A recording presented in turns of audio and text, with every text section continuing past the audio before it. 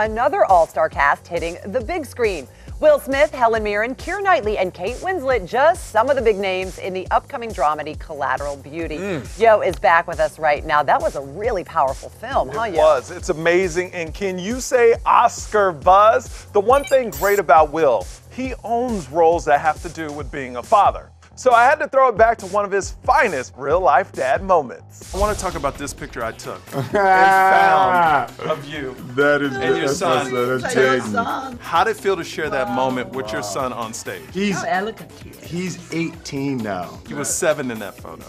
You know, I grew up in a, in a family business. My father took us to work. So, you know, for me, this was so natural to take my kids to work with me. And it's the, the ultimate way to share and teach and develop a relationship through them seeing me in my best light. Did you lose a child, Howard? In Will's new movie, Collateral Beauty, his character Howard is dealing with his daughter's tragic passing and gets some unexpected help from the universe in the forms of love, time, and death, played by Oscar winner Helen Mirren. They're charmed, I'm sure.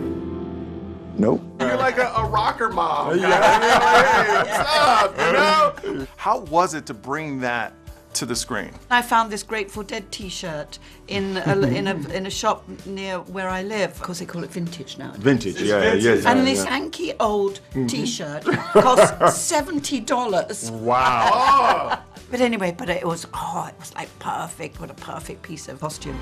He's reaching out to the cosmos for answers. And in the spirit of the movie, I had my own cosmic questions. If you could go back in time to the beginning of your fame, what advice would you give yourself? I would say, don't worry, it'll all work out. Good advice. Good exactly. Yeah, that's a good one. Tell me about the moment you knew you were in love for the first time. I'm a hopeless romantic. So I've made the distinction between romance and love. Real love is born of surviving with someone where you develop true love. That probably wasn't a good like that's No, it was a great. bit of a down. I was about bit to of a tear up down. over